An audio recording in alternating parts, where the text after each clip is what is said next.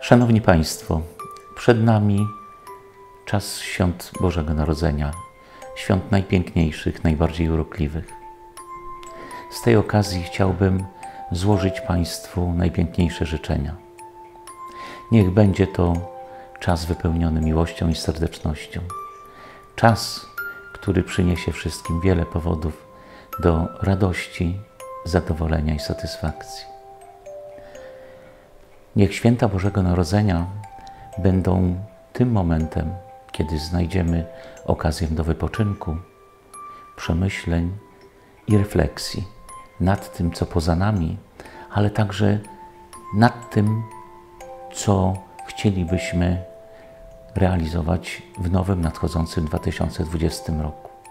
I na ten nowy rok życzę wszystkim Państwu bez wyjątku, aby był to okres spełnienia Państwa planów, realizacji wszelkich zamierzeń, a do tego życzę dużo, dużo zdrowia. Drodzy Państwo, wszystkiego najpiękniejszego na nadchodzące święta i nowy 2020 rok.